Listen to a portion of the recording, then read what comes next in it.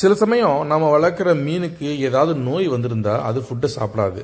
இது என்ன ஆகுது அப்படின்னா ஹாபியஸ்ட்டுக்கு இது தெரியாமல் ஒரு வேளை சாப்பிடலைங்கிறதுக்காக ஃபுட்டு அப்படியே தொடர்ந்து போட்டுகிட்டே இருப்பாங்க. அது எப்போ விரும்புதோ அப்போ சாப்பிடணும். இதனால என்ன ஆகும் அப்படின்னா அந்த ஃபுட்டெல்லாம் அப்படியே தண்ணியில் ஊறி அப்படியே அதுலேருந்து உடஞ்சி கீழே விழுந்து ஃபங்கஸ் ஃபார்ம் ஆகி அந்த மீனுக்கு மேலும் பல வியாதி உருவாகும். இந்த வீடியோவில் பாருங்களேன் கிளியராக தெரியும். அந்த கோல்டு ஃபிஷ் ஏற்கனவே ஸ்ட்ரகிள் ஆகிட்டு இருக்கு. அதுக்கு ஓவர் ஃபீடிங் கொடுத்து அந்த ஃபிஷ்ஷு வாட்டரும் பொலிட்டாது அதே மாதிரி தான் இந்த ஃப்ளவர் ஆனும். இப்படி ஃபிஷ்ஷுக்கு பொறுத்த வரைக்கும் ஃபுட்டு நீங்கள் போட்ட உடனே சாப்பிடணும். அப்படி சாப்பிடல அப்படின்னா மீனுக்கு ஏதோ ப்ராப்ளம் வந்திருக்கு.